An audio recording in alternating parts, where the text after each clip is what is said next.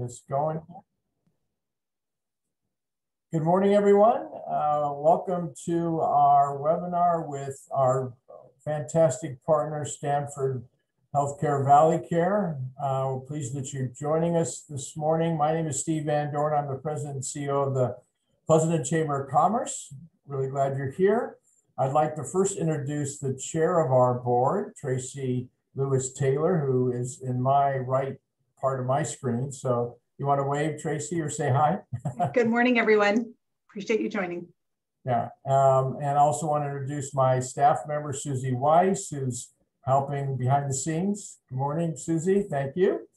And we also have Don Wilson here. Uh, Don is uh, joining us as well. And I think I got everybody. So good.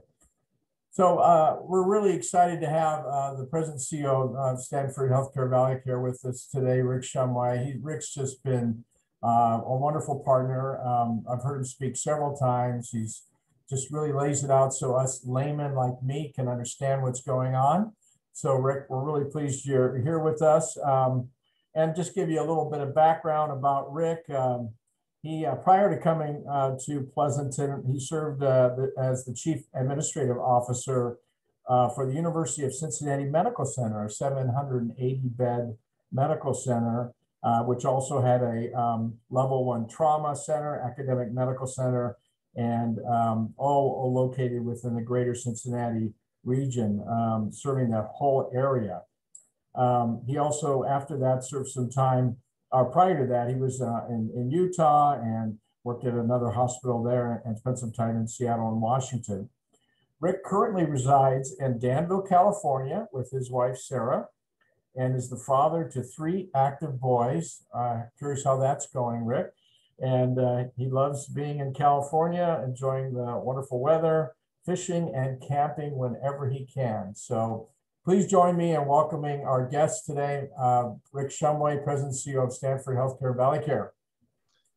Thank you, uh, everybody. It's good to see you, all of you um, virtually. I, I, uh, I, know that's only been said six billion times over the course of the last uh, year, but um, legitimately, it's it's good to be with you this morning. And um, you know, I do love uh, fishing and camping, and I'm I'm I'm thrilled to be with all of you this morning. Uh, but uh, my boys are up at Yosemite uh, for a week long camp today. So, you know, uh, this is a good a good alternative. Um, but if it weren't for the Pleasanton Chamber of Commerce, I'd rather be up at Yosemite uh, today.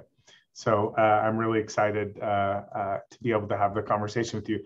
Um, I also appreciate the the continued support um, of all of you and and in, in our community uh, it's just been an unbelievable year. Um, it's been one that I, I don't think any of us really uh, sort of could have conceived of uh, at the beginning of it. And it continues to be dynamic and challenging and changing even now uh, as we're entering into a new phase uh, of our uh, of our pandemic response, which I'm happy to, to respond to. Um, the one thing I'll just say before I get started is if you do have questions, um, you know, there will obviously be a, a, period here at the end where we certainly can have as much of a dialogue about anything that you want to talk about, whether it's pandemic related or not. Um, uh, but feel free to put things in the chat uh, as well um, as, as we go. And um, we'll try and hit those either in the middle of the presentation or towards the end, uh, depending on sort of the flow. So uh, open and, and happy to have those, those conversations as we go. So I, I have slides. Uh, admittedly, they're just pictures. Um, so hopefully that keeps things pretty interesting um, as I talk through some things that we've got going on here. Um, so we'll just, we'll go to the first slide there, uh, Steve. So um, it has been, uh, uh, as we've said, it's been an unbelievable year, uh, but it's kind of an interesting time for, for all of us. Um, uh, here at Stanford Valley Care, you may know, maybe you don't. If you don't, we'll be communicating through the chamber very shortly. Um, this is our 60th year uh, as a healthcare entity in our community. Um, what an amazing uh, sort of milestone, I think, for us as we look back to what has been over the course of that year, year those years. Uh, but this last year, as we've led into the 60th uh, year of service, has been one for the record books. Um, I will tell you that we do intend uh, shortly to do celebrations of that 60th year uh, later in the year. We'll, we'll be communicating a lot about that.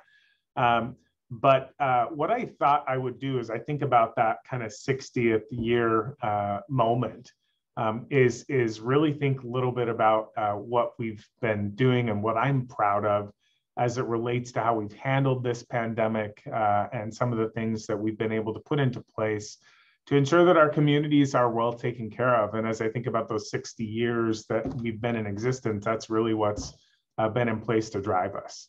So again, I'd be remiss if I didn't spend just a few minutes uh, sharing some things. Some of you may know some of these things, some of you may not. Uh, so forgive me if any of this is redundant, but uh, these are things that I'm really proud of uh, related to our organization and how it's responded uh, to really, again, this unprecedented year that we've, we've been in. So there are a few examples of things that I, I think would be interesting for you to know uh, about in terms of how we've responded to the pandemic uh, uniquely. Um, so let's first start with capacity. So as you think about why that's important, when we talk about things that have happened during the pandemic, whether they've been um, uh, health orders or masking requests or vaccination efforts or otherwise, um, it's really been in, in an attempt in many ways, obviously to ensure that the public is safe, but to preserve important hospital capacity so that if somebody truly gets ill uh, and has a significant need to be taken care of, uh, there would be a spot for them to be taken care of in. Um, COVID, as you know, uh, is, a, is an airborne transmittable disease. And so hospitals had to adapt very, very quickly when the pandemic began. I'll give you a little bit of perspective. So here at Stanford Valley Care, prior to the pandemic, uh, we had uh, about seven what we call uh, isolation rooms, inpatient isolation rooms. And these are rooms that have a special way that the air gets filtered to ensure that whatever microorganism that we're trying to keep inside the room stays inside the room and doesn't leave and go outside the room and, and potentially create problems elsewhere. Um, for an organization that our size, that's plenty. Um, that, that, that gives us the ability to take care of somebody who comes in with tuberculosis or something like that um, to ensure that we are, are protecting the patient, protecting the staff, protecting other patients, uh, visitors, and otherwise. So as I said, at the very beginning of the pandemic, we had seven of those rooms. We had to very quickly change our approach because, as you know, with the COVID uh, transmission, as we just talked about, it's an airborne transmittable disease. Uh, so within three weeks' time, we converted 58 spaces in our organization to become isolation rooms uh, that met the standards needed to ensure that we could put infectious patients in those rooms. So we went from seven inpatient isolation rooms to 58 within three weeks, which I have to tell you, uh, had you told me that we would have to do that prior to the pandemic, I, I almost would have said that would have been impossible, um, but it wasn't, and our teams really stepped up. So the good news is, is that our organization is well prepared from an isolation capacity standpoint uh, to handle any surges that come through. The other thing that was really important during the course of the pandemic is that we developed a capability to surge beyond 70% of our top capacity. That's a lot. And so when you think about what that means, that means that if the hospital beds are totally full, what do we do? we've come up with surge plans that allow us to not quite, but almost double the capacity of patients that we could take care of if every hospital bed was full. Uh, and I think that that's a really amazing thing to know. It's peace of mind, I think, from a community standpoint, to know that we have that capability. Uh, and it's something that we've worked really hard to ensure. Um, we've also completely adapted our IT infrastructure, even beyond what it already was. Uh, as as many of you know and probably have experienced, we've really leveraged telemedicine over the course of the last uh, 18 months in a way that we had not even imagined or contemplated before. Uh, just to give you a little bit of an insight into that, at Stanford, uh, prior to the pandemic, we had about 5% of our overall physician visits that were occurring uh, on a, a virtual basis. Within two weeks, we went to 70% uh, telemedicine visits uh, over that period of time. So all of these things together really, I think, give us the perspective that, hey, we've actually done quite a bit to ensure that our capacity has expanded in a way that we can and have handled surges in COVID patients and are well prepared to handle them if they occur in the future. So I'm really proud of that. So another thing that uh, has has uh, been a real win, I think, for our community and for our organization over this pandemic period, is our capabilities. Um, so again, there were so many early news stories about ventilator shortages, equipment shortages, uh, personal protective equipment that was having to be reused by staff in hospitals all over the country. And while I will not say that it was an easy period as it relates to any of those things, what I will say is that by harnessing the power of Stanford, there was never a moment during the course of the last year that we worried about not being able to provide PPE for our staff, that we worried about not having enough ventilators or equipment to take care of our patients. Uh, we've really worked hard uh, and literally scouring the globe uh, to ensure that we have the adequate um, uh, supply and support uh, to ensure that our teams are taken care of and our patients are taken care of. So I'm really proud of the teams for doing that. I'm also proud of the testing uh, things that happened over the course of this last year. So a few things that, that I wanted to share, and some of them you might know, uh, some of them you might not.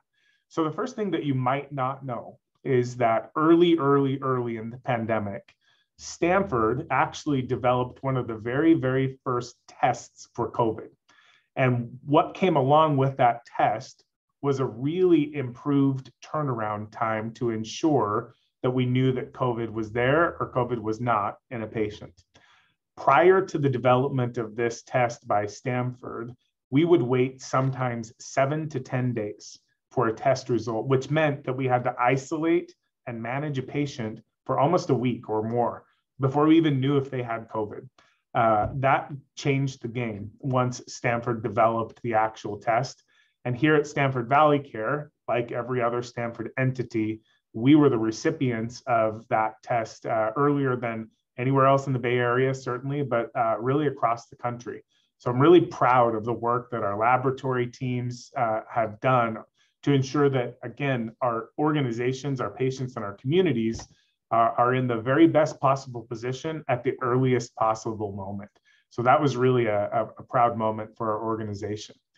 Another proud moment around testing was the partnership that we had with our partners uh, in the cities of Pleasanton, of Livermore, and of Dublin. And I need to just uh, shout out quickly uh, to Nelson Fialho from uh, Pleasanton, Linda Smith uh, from Dublin, and Marc Roberts from Livermore, the city managers, who really came together uh, with us to brainstorm about how we could provide better services and better access to testing early on, uh, while uh, that was still something that was uh, a question uh, about access.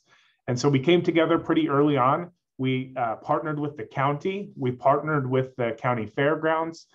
many of you may have experienced that there at the fairgrounds to open um, really the premier testing site locally very early in the pandemic. And that was an important part of uh, the pandemic response was to ensure that people could get tested uh, when they felt like there was a potential exposure. We've also uh, worked really closely at Stanford with private industry in working on solutions for mass production of regular, more easily accessible COVID tests for staff. So again, while we were really excited to be able to provide that testing site locally, uh, you know, the accessibility of COVID tests has really improved over the course of the, the last few months. And we've been really excited about the partnership that we at Stanford have had with organizations uh, out of Silicon Valley, like uh, Color is one, uh, who actually uh, has given us the ability to easily do self-testing for our staff, uh, as well as community members in, in, in, various settings. So I'm really proud of the testing response uh, that, that happened here uh, over the course of the last number of months. Um, I would certainly be remiss if I didn't say just a few words about what we've done from a vaccination standpoint. Uh, I was thinking about it the other day, and it's really incredible to think that some of the very first people on planet Earth to be able to acquire and administer the vaccines happened here in Pleasanton, California. Uh, we were some of the very first to receive the vaccines at Stanford uh, and moved very expeditiously in providing that opportunity to our physicians, to our staff members and team members who were on the front lines uh, in the battle against this, uh, this disease. Um, so I'm really proud of, of that timeline. I'll never forget the morning uh, of the delivery of the very first vaccine doses. We all lined the halls here at the hospital. It was almost like a red carpet moment with our pharmacists walking down the hall uh, with the box of the very first vaccines. Um, it was really kind of a striking moment, uh, really, and, and, really proud of, of everybody who worked together to make that happen. I'm also really proud of the continued partnership, again, with our communities uh, to ensure that vaccinations were accessible as early as possible to our, to our community members. So many of you uh, probably experienced, uh, similar to the testing, our vaccination site at the fairgrounds, where we again partnered with cities, counties, the fairgrounds, and also our partners at Sutter Health uh, to provide the premier vaccination site in the region. And we literally provided hundreds of thousands of vaccination doses uh, over the course of that period of time and continue to provide vaccine doses in various ways. So also very proud of that. Uh, we've become pandemic content experts. Uh, we've learned certainly a lot, uh, but we've provided uh, all of our local communities with Stanford expert resources related to all these aspects of the pandemic. I remember talks that were given about should we clean our milk cartons uh, before we bring them home from, from the, the grocery store uh, we've given talks on how employers should consider bringing back work, bringing people back to work and protocols, and then how the viruses and vaccines work uh, with all of our Stanford experts. I've been really proud of that. And then last but not least, uh, health equity. We've partnered uh, with our, our partners at Access Community Health on many vaccination services and testing services, and are very proud of that uh, continued partnership that we have in serving uh, those populations. Uh, we partnered with the county in reserving slots for vaccinations for underserved populations, and then also with our colleagues at Stanford Children's to bring the vaccination to all of the approved ages as soon as it was available. So I would just say in a big breath, it's been unbelievable as I look back at all the things that have happened uh, to ensure that our communities were in a, a strong position uh, to respond to this pandemic. And I'm proud of all of the teams uh, for, for all of that work. So we'll go to the next slide, please. So I, I also have to say that despite the fact that we are in the middle of a pandemic, uh, we're really proud of the fact that we've continued to provide exceptional care, exceptional regular health care throughout the course of the pandemic period. Uh, a few things that I'll just point out. Uh, our leapfrog rating uh, has been very consistent. We're a leapfrog A organization, which is a quality and accountability study uh, that ranks hospitals based on a long list of, of quality outcomes. Uh, it's the highest ranking that you can get, and only 33% of US hospitals achieve this Leapfrog A uh, rating for quality. And we're really proud that this has been something that we've pursued and continues to be uh, a recognition that we've received.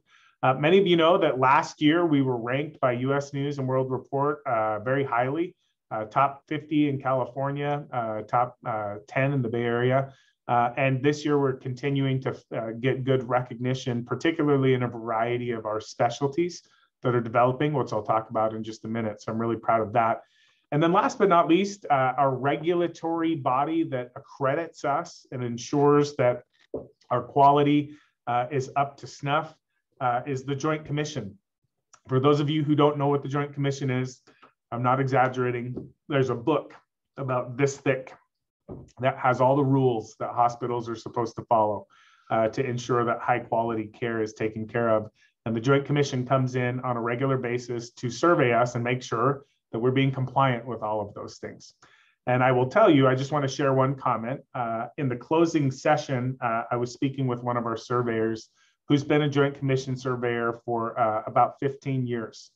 Uh, she says, I am out in a different organization every week across the United States. So I have a good body of work that I can refer to when I make this statement. And she said, every time I go into an organization, I ask myself, would I work here? and would I receive care here? And would I let my family receive care here? And her summary to me at the end of our survey was unequivocally, I would work here, I would receive care here, and I would send my family here. And so hearing that from somebody in that position that does not have to say those things, I thought was a really good reflection again of the fact that, hey, yes, we've been in a pandemic. Yes, it's been unbelievably challenging and crazy and all of those things but we are continuing to push the boundaries of providing the highest quality care uh, that you can get. And I'm really, really proud of, of, of, that recognition. So I think that's been a great, a great moment. Uh, we'll go to the next slide. So looking backwards, which I just have done, is certainly rewarding. Uh, but ultimately, looking forward is what keeps me going. It's what keeps me energized. And so, what I want to do here toward the end of the presentation is share with you what the future looks like at Stanford Healthcare Valley Care. Um, and there are a few things that I'm going to base this on. So the first one is we have over the course, even though there was a pandemic going on, uh, we completed our five-year strategic plan here at Stanford Valley Care. And the five-year strategic plan essentially encompasses three domains. So all of our strategies go towards each one of these domains. And I'm going to talk about them in a little bit of detail in just a second here, but you see them here on the slide. So our five-year strategic plan calls for three things. Number one, that we are locally Stanford. And I think that's really critical because that local element is so essential to who we are. And bringing Stanford into the local nature of things is what we're trying to do. Uh, Stanford is a world class organization, and we want to bring that world class service and perspective here uh, to our region. So there are a lot of ways that we're doing that that I'll talk about in just a second. We also want to stay regionally connected. We will always be the local hospital for Pleasanton, for Livermore, for Dublin, and others. But what I will tell you is, is that we have continued to build and grow our services in such a way that people are coming to Pleasanton to receive care from all over the place. And we intend to continue to, to build and grow that to ensure uh, that we are providing uh, literally world-class care to people from, from various regions of California. Uh, and we'll talk more about that in, in a second as well. And last but not least, uh, I will tell you that it has been uh, over six years now since Valley Care became part of the Stanford healthcare family.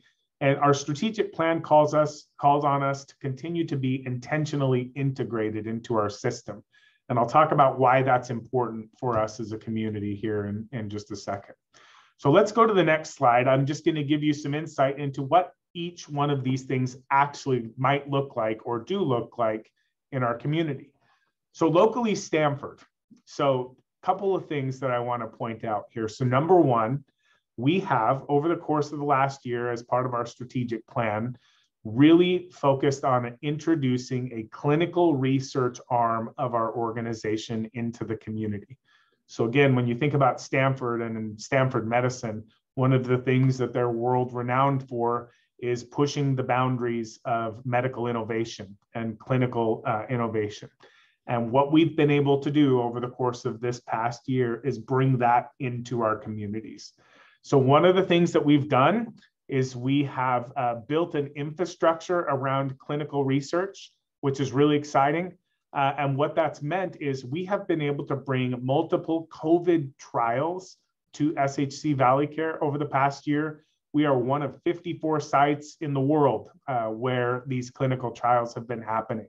So, for example, when you think about the drug remdesivir, which is one of the primary treatments for severe COVID and admitted patients, people in our community had access to clinical trials for remdesivir prior to its final approval by the FDA. Uh, that's a really exciting thing to know that A, we're shaping the science and the, the, the protocols around treatments for something that's so important to our community and to our world but it also means that our patients have access to things that don't exist anywhere outside of Palo Alto and maybe San Francisco. Uh, and so that's really an exciting thing. Um, we've also been able to introduce a master research agreement uh, with Stanford University to open more doors for this kind of activity in the future. Um, so I'm really excited about what this means. There's great interest from Stanford to expand the research and development protocols and portfolio into our community here in Pleasanton. So I'm really, really excited about that and what it means for what people will have access to uh, here that they wouldn't have access to otherwise. And I'm really, really proud of that. We're also excited about working with strategic partners locally. We have ongoing conversations uh, with colleagues at Livermore National Labs. Uh, that's a really big opportunity. Sandia as well, figuring out how locally we can partner with the ecosystem of innovation uh, to advance things that are coming out of the Tri Valley. So I'm really, really proud of that. We're also uh, introducing a lot of clinical education programs. So we're training the next generation of physicians and providers. So we have resident rotations underway in vascular surgery, general surgery, heart surgery.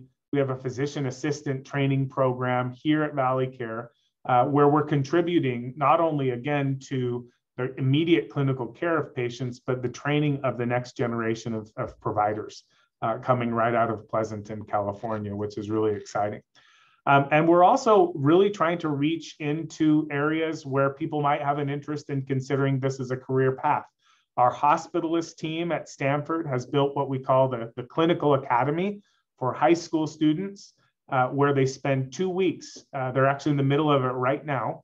Uh, and they get to, experience the whole spectrum of what medicine might look like as a career path by interacting with faculty members in various specialties they get to do dissections of cow hearts and they get to have uh, training around how to read uh, EKGs and all sorts of things like that. So these are the kinds of things that we're talking about when we're saying that we will be locally Stanford. Uh, and we're going to continue to pursue these as we move forward. So let's go to the next slide, please. So we're also, as we said, uh, regionally connected. Uh, and, and what that means practically are a couple of things. Number one, it means that we are going to be able to provide Stanford level care here in our community. And I want to share some examples of that with you that you may know about and you may not know about. So the first one I want to share with you is our heart surgery program. So over the course of the last year, year, year or so, just a little bit over, uh, Stanford has hired two full-time preeminent heart surgeons that have relocated and moved into our community. This is their home. Uh, they live here uh, and they practice exclusively here at Stanford Valley Care. They are part of the overall ecosystem of Stanford Heart Surgery, which, for those of you who don't know, is literally one of the highest ranked world class programs uh, in the world. Uh, it's ranked number 10, I think, in the United States.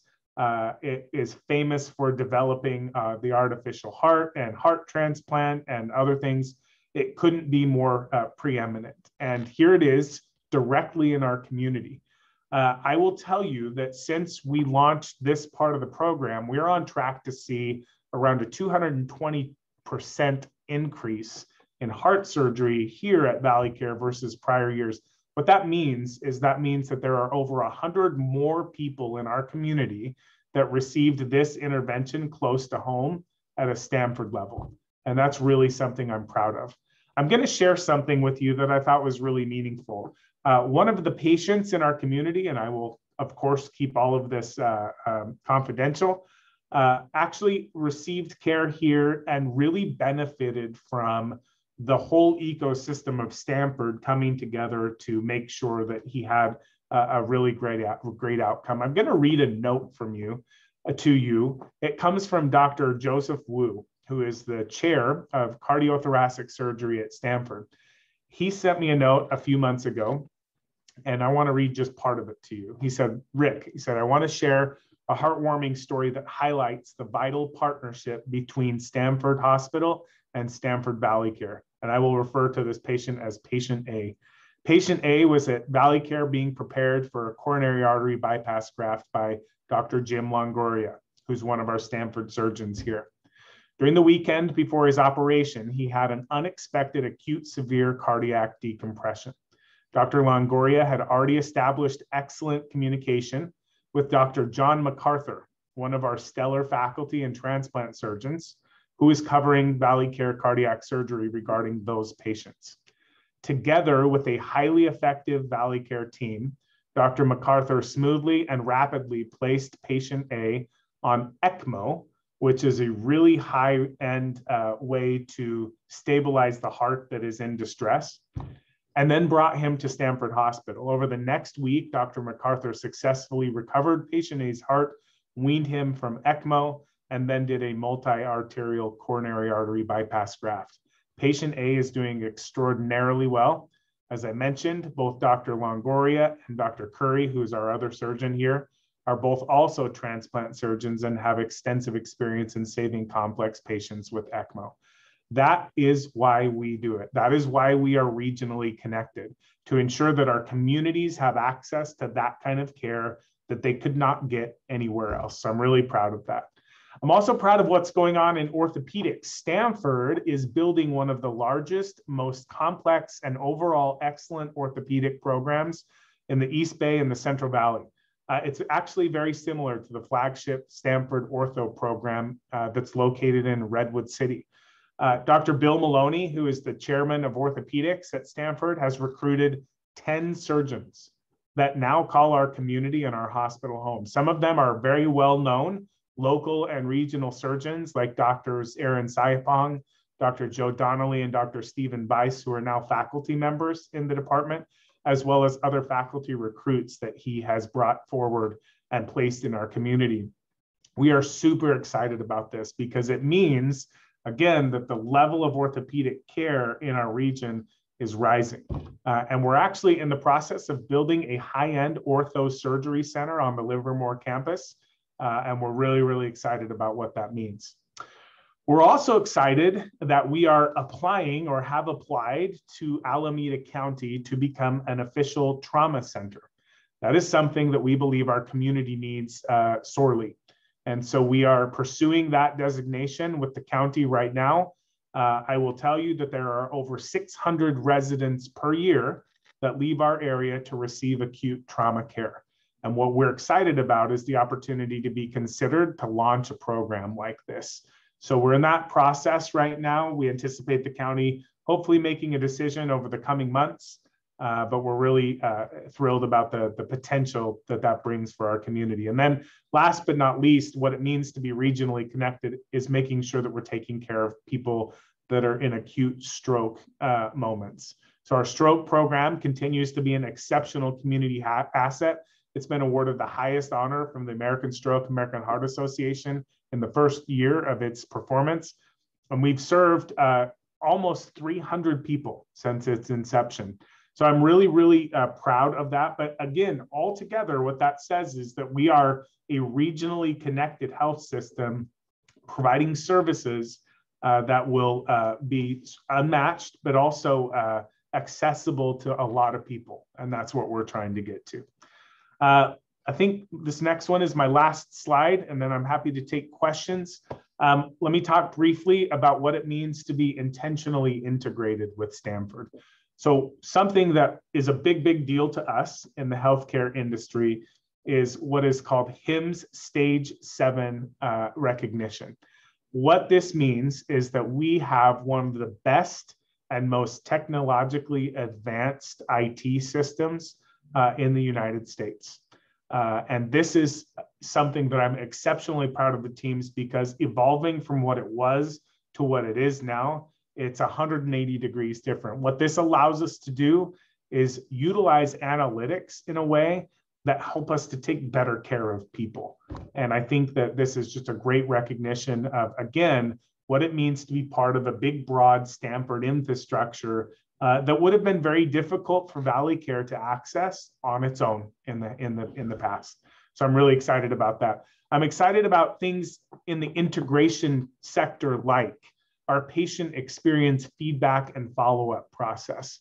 Historically at Valley Care, we had one to two people that would handle all of our patient feedback processes. Um, you can imagine that when you rely on one to two people, sometimes timing can be challenging, Sometimes communication can be challenging. But what we've been able to do is harness the full patient experience team in Palo Alto to help us manage all of the patient feedback in a way that we can act quickly uh, when we get that feedback. And so I'm really proud of, of that part of the integration. Last but not least, we are very integrated into the capital investment process. Many of you know that when we became part of Stanford, there was a requirement at affiliation that Stanford was supposed to invest 50 to 60 million dollars in this health system. I'm here to tell you today that that is a small number comparative to what has been invested. We are in the hundreds of millions of dollars of investment in this system and continue to do so. Uh, we are currently engaged in the largest upgrade pro- project in Stanford's Healthcare Valley Care's history. We're replacing all of our imaging capabilities. Our interventional suites are being expanded. Uh, we have physical space expansions that are underway in Livermore, Pleasanton, and Dublin. Uh, and we have lots of clinical program support. Uh, our new high tech uh, pharmacy compounding uh, function. We're doing lab expansions inside of the hospital. Uh, there's a new linear, linear accelerator coming at, at, at the cancer center. You can see some of the things on the slide here, our brand new MRI, our new Da Vinci surgical robot, and our new orthopedic robot the list goes on and on and on in terms of investment that Stanford is making into our community. So I'm really excited about this. I'm really excited about what it means for all of us here in, in Pleasanton uh, and in the region. So in summary, again, we're certainly proud of the things that we've done over the course of the pandemic. Of course, it's not over. We're continuing to monitor carefully what's going on with the Delta variant. Happy to answer questions about that if you have them. Uh, but I will tell you that um, the future is exceptionally bright. I think that's my last slide, uh, is just to say we're really excited about what's coming, what is here, and what's being developed here in our community uh, at our organization. So appreciate all of the great support that we always feel uh, from the Pleasanton Chamber, from the business community, uh, and from the community at large, and are, are literally honored to continue to be able to serve you in any way that we can. So I'm going to stop there and happy to answer questions. Uh, I know there looks like there are probably a couple of that have come through chat, but I'll turn it back over to Steve to, to moderate those uh, those questions. How do, how do you want to move forward on those? Yes, thank you, uh, Rick. Uh, as always, you're so articulate and uh, just love your presentation and update. Uh, we are so fortunate to have Stanford Healthcare Valley Care in our community. Um, and, to, and to hear that number, over 100 million in investments, uh, is just uh, amazing. Um, so, hundreds with an S. Hundreds, hundreds, uh, yeah. So uh, make sure I get that right. Uh, so that's excellent. So we've got a couple questions. Um, again, if you if you want to just uh, talk about your question, please feel free to raise your hand. the first one came in from uh, I hope I have this right. Yaya, uh, thank you for your information. I'm a clinical engineer and CEO of Advantage Biomedical Services located in Pleasanton. I would like to know how my company can support your hospital with health technology management services. So, you know, I think our, our IT infrastructure, our, um, uh, our technology and data solutions teams are the ones who primarily manage that. Um, but you have a, a good contact in in Tracy Lewis Taylor. I hate to put her on the spot, but as your as your board chair who oversees our IT services. And so if you have questions about that, I'd encourage you to reach out directly to Tracy and uh, you know she can she can make the appropriate connections as as needed. So but do appreciate uh, that uh, support. Great. Um, uh, Janine Rubino Braun, thank you for this informative presentation. I've noticed that the local cardiologists are part of Valley Care Physicians Associates. Does that mean they are not Stanford physicians?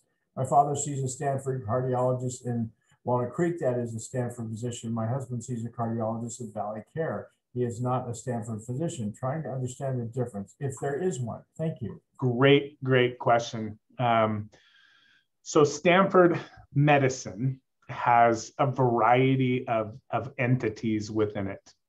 One of the entities within Stanford Medicine is called UHA, uh, University uh, Health System Associates. Um, this is the medical foundation uh, for Stanford in the community. So what this means is that these the, your, your questions are good ones. they are, they are Stanford physicians. Um, they belong to a medical group that is part of a foundation that is associated with Stanford.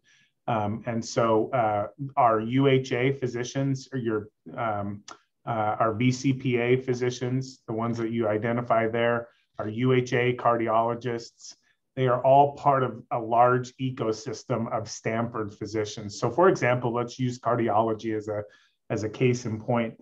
So we have what are called service lines. So we have a cardiovascular health service line at Stanford broadly. That cardiovascular health uh, service line includes everything from cardiac surgery to cardiology, vascular surgery, electrophysiology, um, and so on. Uh, and so it's really a, a, comprehensive approach to cardiovascular health across the enterprise, and that means across the network. So all of these physicians and all of these entities belong to this cardiovascular service line. So you might have a UHA cardiologist, somebody that you see here at, at Stanford Valley Care, uh, and a Stanford faculty cardiologist working closely together uh, to manage patients across a broad continuum. So it's a little bit confusing as it's public facing. The short answer is yes, they are Stanford physicians. Yes, they work very closely together. Yes, there are direct connection points to all of the parts of the Stanford system that are needed uh, to take care of patients. So again, if you have a cardiologist here at Valley Care that has a, a, a complex issue that really is only treated at Stanford, uh, the good news is, is there's a direct line there. There are relationships there, and so those patient connections happen pretty seamlessly. So uh, that's a really great question. Um, hopefully that that answers it a little bit. Thank you so much. I appreciate it. Yeah, great question. Thanks, Rick. Um, well, looks like we're getting some uh, members that want to become more of your partners here. Another question from Sam Patel. I'm a business owner and want to know who I would reach out to for families of patients who have overnight lodging needs. My property is just down the street from the hospital. So that's something that we'll continue to, to evaluate, um, particularly as patients come from further away. So our, our primary service area right now, I would consider to be the Tri-Valley, right? So San Ramon, Danville, Pleasanton, Livermore, Dublin. Um, our secondary service area really reaches as far as uh, beyond Stockton, uh, down past Turlock, uh, certainly the whole East Bay. Uh, and so that's that's also uh, a region where we are seeing patients uh, coming pretty regularly from those areas to seek these Stanford level services. But we're also seeing patients even come from further away, from Shasta. We've had patients come from Southern Oregon. Uh, we have hospitals that transfer patients that need a higher level of care directly to us, like they would to Palo Alto. Uh, and so patients are certainly starting to come from further and further away. So as we continue to uh, evaluate that and, and identify those needs, we'll certainly uh, be happy to, to be in touch about those, those kinds of opportunities. Great. Um, looks like uh, Yaya uh, clarified he's looking for the contact for biomedical engineering services at your hospital. And Tracy uh, looks like she responds to that. So uh, Tracy looks like your person you want to reach out to. And she listed her uh, email in, uh, earlier in the chat. So um, I'm sure she'd love to hear from you. So uh, any other questions? I, I don't see anything else in the chat. Um, anybody want to speak up? Uh, any questions? Well, I, I, you know, we were talking about this before we started, and uh, Rick was kind enough to just give us an update on. I don't know about you, but this Delta variant is cer certainly something that's on the top of a lot of people's minds. So, Rick, maybe you could just cover uh, what you already told us earlier, if you wouldn't mind, uh, where things stand with this impact to the hospital and what you see coming uh, forward. We'll see if I say the same thing the second time. You'll have to keep me honest. Um, so, um, you know, a couple of things I think to to keep in mind uh, related to this, and what I actually showed uh, Steve at the beginning when we were preparing. If you literally, if you just Google um, California COVID cases, Google brings up a, a, a chart that you can filter and you can say what's happening in Alameda County, what's happening in Contra Costa, and so on. And so that gives you a pretty good sense for sort of what's happening with the case rates. Um, what I will tell you are a couple of things uh, broadly. So the case rates are ticking up. Um, no, no, no doubt about that. We're certainly we're certainly seeing some some increase in the case rates, uh, both in Alameda and in Contra Costa County. The good news, if you're looking at the other pieces of the data, is that the death rates, the mortality rates are still exceptionally low. So what that says is the vaccines are working pretty well, right? They're they're pretty pretty effective. And so uh, the encouragement that we're continuing to provide to anybody who who wants to hear is is to get vaccinated because what we're finding, even with uh, cases that are breakthrough cases that you hear about in the news, of severity of the disease is much uh, seems to be much less pronounced in uh, in uh, vaccinated individuals. Uh, and so um, when you when you really kind of boil it down, of severity of the disease that we're seeing in the hospitals uh, and the mortality that still exists really is is primarily around uh, individuals who are not vaccinated. And so that's really a, a key part of the data set uh, that, that we would that we would point out. Um, I will go all the way back to the beginning of my, my, my comments today. When you look at what the hospital is capable of, we are not in extremis uh, right now. Uh, we, we certainly have seen uh, a little bit of an uptick in terms of uh, admissions for COVID patients. Uh, certainly nothing like what we saw in the, in the fall and in the winter and early spring. Uh, but it is starting to, to tick up uh, uh, notably. And so I think that's something that we're, we're certainly keeping an eye on. But again, we're well prepared uh, from a surge perspective in the case that we uh, need to surge. and they're not anywhere close to activating our, our surge plan. So that's, that's good news. Um, so again, I think the message is um, in terms of the Delta variant itself, it, it seems to be more transmittable uh, and so that's really the uh, the name of the game is to to figure out how we can continue to encourage vaccinations uh, amongst those that that have, have decided not to and provide information and, and otherwise that will assist in that decision making. Uh, but that's the key, uh, I think, is, is, is try and get vaccinated as much as you can uh, so that um, so that we can avoid you know another you know significant spike like we saw in the winter and and again, hopefully, uh, given that the Bay Area is is is got a pretty high uptake from a vaccination standpoint, we don't see what we saw in the fall. Um, but uh, I think that's the thing we've learned about this pandemic is uh, just when we think we we know something about it, uh, it changes. And so you know you figure out your your very best pathway forward, and you stick with that uh, until something changes and the very best pathway forward is is vaccinations uh, at this point in time. So that's that would be my broad sort of overview of what's going on uh, from a Delta variant standpoint. And Rick, just to confirm, uh, since you've closed uh, the, the fairgrounds vaccination area, if someone does still hasn't been vaccinated, wants to be, someone that may feel they need to be tested, where do they go when it relates to your hospital? Maybe you can just remind yep. people. Great question. Uh, Tracy, you want to give a quick summary? I would love to. And um, since I'm not good at multitasking, I'll ask uh, Denise or Shelby to copy the link uh, right into the chat for the group's um, reference as well. Uh, but we do continue to offer free vaccinations excuse me, through our two urgent care locations. We have a location in Dublin as well as Livermore. Um, and we do offer um, uh, all three vaccines available at that site uh, Monday through Sunday. Uh, generally speaking, hours of operation 10 a.m. to 8 p.m. But there's more information on the website uh, that will point to um, uh, specific uh, days and times for vaccine appointments, as well as links to go ahead and, and make an appointment directly. We do offer walk-in appointments as well for that, for that first dose. So I will also say we are agnostic as it relates to where you get vaccinated. So we are happy to serve you in any of those locations and, and provide that service.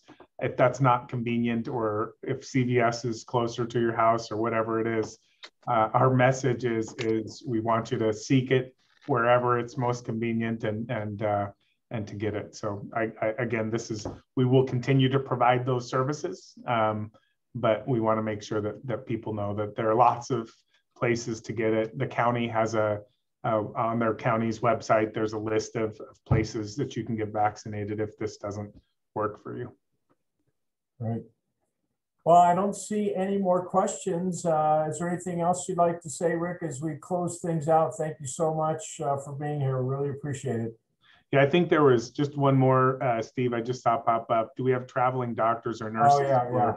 Special procedures who come from out of the area um, the answer is yes. Uh, we, we bring uh, Stanford faculty uh, to our organization fairly regularly uh, for procedures that uh, may require a little more uh, complexity. Um, and so that's actually been a great, great partnership as well. in addition to the Stanford faculty and other physicians that are here um, at, at Valley Care, we, we do certainly receive support for those uh, more complex uh, special procedures um, here locally, but but again, uh, make sure that they're connected to, to, Palo Alto as well. So again, I'll I'll take the opportunity, uh, Steve, just to again thank you, thank the the chamber uh, again for all that you're doing. Um, as dynamic and challenging as it's been for hospitals and healthcare systems, it's been equally dynamic and challenging for the business community at large uh, and I know continues to be so. So uh, you have our uh, our solidarity uh, and our our support, um, and we'll continue to to be happy to support you however we can as we go forward. So thanks for all you are doing uh, for our communities as well. Great. Thank you all for joining us today. Um, we will post this recording on our website. So, and I know Susie will include it in future uh, emails that we send out so you can share it with your friends. Uh, very well done and uh, always walk away with new information, Rick. Thank you so much. Thanks, everybody. Have a great rest of your day.